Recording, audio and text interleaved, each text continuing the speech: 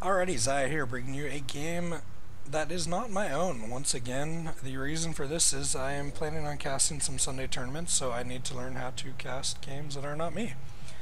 We have a ZVZ in the top right, the blue player, OG Tenza.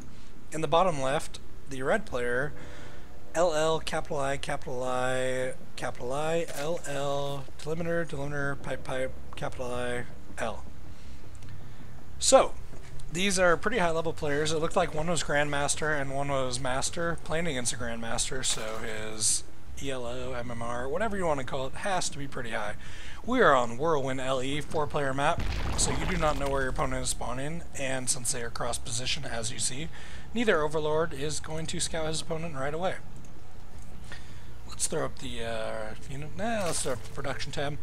We see that Mr. Barcode, because saying his name is way too hard, decided to go for an extractor trick, whereas Mr. Tenza decided to go for standard, uh, 9 Overlord into some drones. I see pros do it both ways, so I really don't think there's much of a difference. If one way was clearly better than the other, everyone would do it that way. But that's not how it seems to work out. So, ZVZ. We don't see any crazy 10 pool shenanigans. It's pretty tough to do on Whirlwind because one, four player map, and two, fairly big map it can be cool doing like a 10 pool or something because if you do find your opponent, they will not know it is coming and 15 hatch is extremely popular on this map as we see here and here and 10 pool kind of crushes that. But now instead we see pretty standard play, 15 pools across the board. So uh, yeah, we won't be seeing much of a variance for a little while unless one guy decides to go gas and one guy decides to not. And well, right on cue, they both decided to go gas. So we're looking to see a standard ZVZ until these hatchers are built. So I need to try and stall for like 75 seconds, and I am not sure how I'm to do that. No.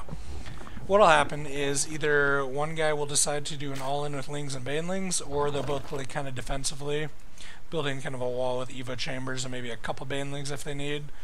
Until the hatcheries and stuff come down, I have no clue what's going to happen because I've never seen either of these players play. Overlords hanging out, hanging out. We haven't even seen any Overlords run into each other yet. Mr. A and B Overlord and C and D Overlord will kind of hit each other at the same time, and that will tell them their cross position. But uh, yeah, I think they've already kind of... No, I guess I haven't figured that out yet. Red might think that blue is in the top left, and blue might think red is in the bottom right. Until this happens. Alright, so we still see a mirror match coming. Two queens, speed, speed, speed, queen, queen, queen, queen, drone, drone, drone, drone. We do see Mr. Blue. I'll try and remember his name.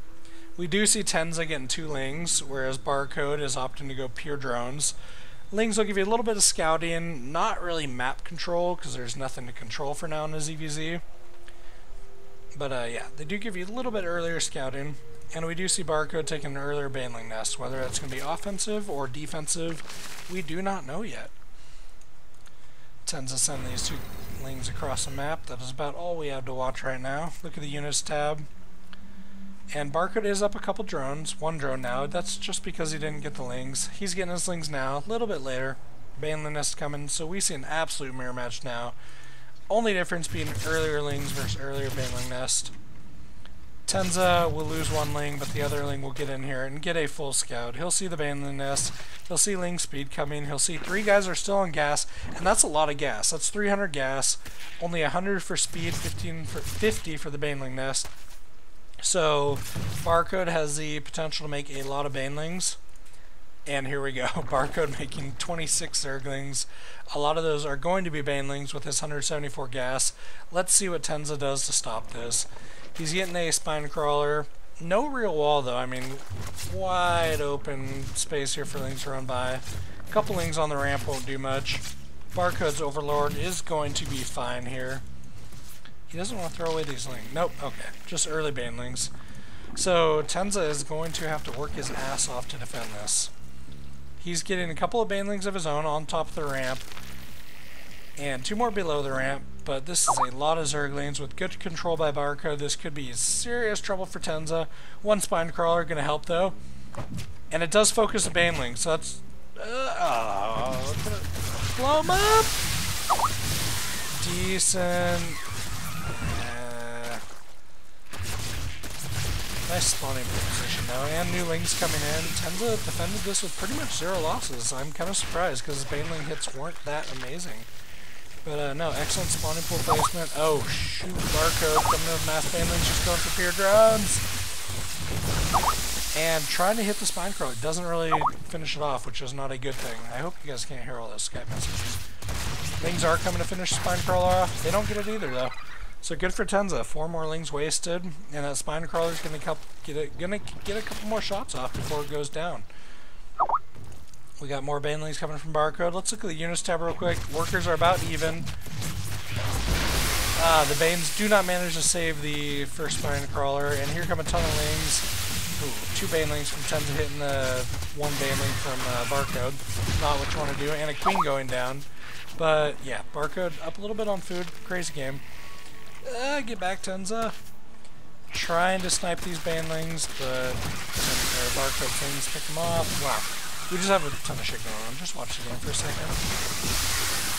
There we go. Stuff blew up, lings died, workers died. Let's go back to the units tab, see where we're going. We're still dead even on workers. So we see two absolutely different strategies, and we're pretty much dead even. Very good play by Tenza there. Your Spine Crawler can go ahead and take some damage. Keep your Banelings things alive. Oh. Nice detonation by Tenza. Any advantage that Barcode had may have... Nah, Barcode still has a lot of stuff, actually. Tenza's going to need some excellent... Uh, okay. Good hit by Tenza, only losing one ling to that Baneling. And now they're about even on lings, so neither player is to mainly is not going to be able to do serious damage to Tenza. Which is what he wants. He's in full defense mode right now. We have a ton of lings streaming across the map again.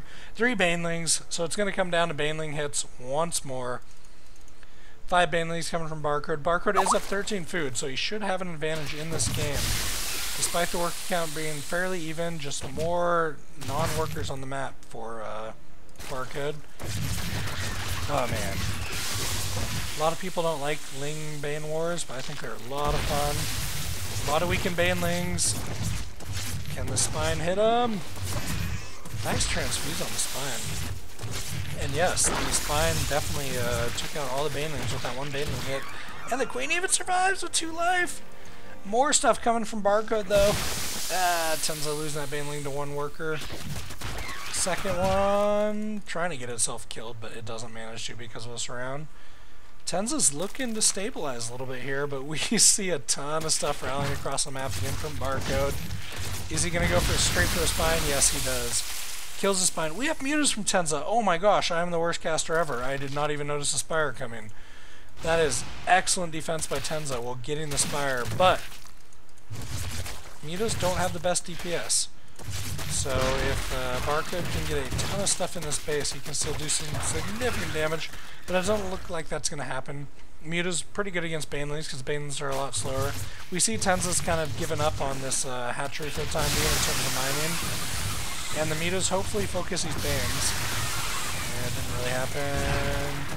One queen goes down, two queens down, so Tenza not going to be able to inject at all. Does he have any queens coming? No, he does not. He just has a couple more mutas coming, a couple drones coming. Looks like he can't even afford queens though, so for now they're not going to hurt him. Food or supply is still dead even. Worker count been the same for quite a while. We do see one worker go down. Was that a uh, spine? No, it was another gas. I'm not sure about getting that gas right now. I think workers and maybe a couple spines to stay alive would be good. So yes, crazy game. Barcode still going to be trying to end this game. You see, hasn't taken, just now taken his second extractor. And these mutas might start getting map control. They can pick off a couple over, overlords. It'll force Barcode to uh, waste some larvae and minerals training new ones. Oh, nope. They cut down first. Do they see this Baneling? They do see the Baneling. So no more Banelings for Barcode. It looks like Tenza managed to hold off long enough to take the advantage in this game. He should be droning up hard. Um, well, a couple drones coming. Not exactly hard. But yeah, I'd like to see pure drones by Tenza and completely clearing the map. He's got a he's got plenty here to defend any Ling Bling. Ling Bling? Sure. Ling Bling all in. So his mutas can go ahead and uh, poke at the base, kill overlords. I don't like chasing lings here. I'd be clearing the watchtower and then going straight for the base. If you find overlords, kill them. If not, just force spores everywhere. Yeah, I didn't see those overlords. Could spread these guys out a little bit too, but that's fine. And here's here's what we're gonna see. This is where the mutas are gonna shine.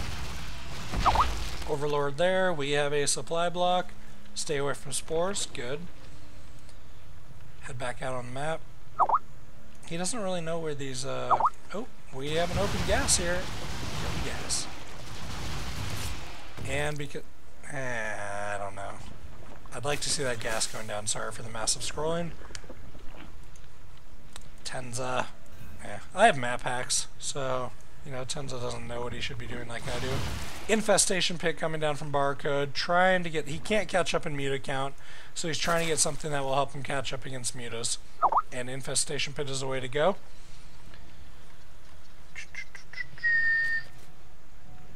We have a massive Muta count here. This gas should go down now. Do it, Tenza. Please. Nope, still not happening. Instead we see a massive ling run by. You got spore crawlers, I'm gonna send lings at you. And Barcode just leaves. So yeah, Tenza got enough mutas that the Barcode felt the need to throw up spores, and so Tenza just sent some lings. But the real reason Tenza won this game was his defense. Nice Baneling wall, took 700 some damage, and that's after healing. Hatchery almost died. We know he threw down a few spines that did excellent work. So yeah, Tenza got kind of caught off guard, but he did an excellent job with his SimCity and his uh, micro. And then this SimCity up here did very well too. The barcode player could never try and sneak workers up in here to get a surround on the workers. Worker, no, couldn't sneak lings up in there to get a surround on the workers. And Tenza snuck a spire in there that even I didn't know was coming. That ended up winning him the game. So yes, I'm gonna end this now.